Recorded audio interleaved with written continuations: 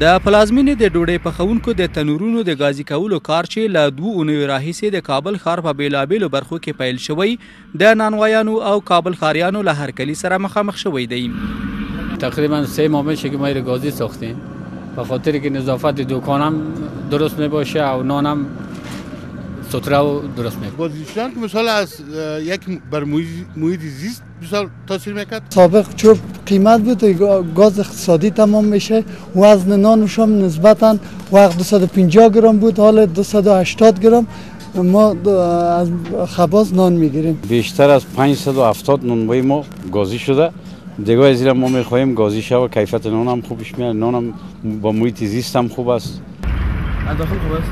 له بله پلوه د ژواک چاپیریال ساتنې د ادارې اجرایوي مرستیال د چین او سویس په مرسته په امتحاني توګه د خښتو د دریو داشونو له غازو د استفادې په حق له خبر ورکوي او وایي چې د خښتو سل بټۍ چې تړل شوي دي په راتلونکي کال کې به په نوې تکنالوژي سره د سویس او چین له لوري په غازو بدل کړای شي پنځه سوه نانوبانه ګازي شوي دي او نور نانوبانې هم ډېر په سرعت سره روان دي چې ګازي شي په همدې شکل باندې بیا حمامونه هم دوه درې حمامه تر اوسه پورې ګازي شوي دي او د موږ هلې ځلې روانې دي